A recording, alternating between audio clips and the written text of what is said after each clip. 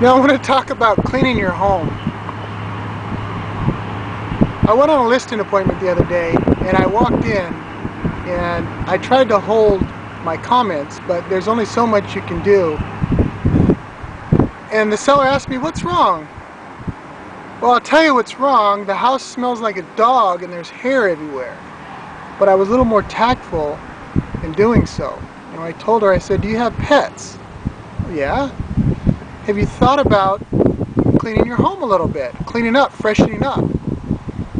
Well, is it dirty? And, you know, she asked my opinion, but it's hard to believe that when you're going to sell your home, you want to make a really, really good first impression because that's all you get is one impression.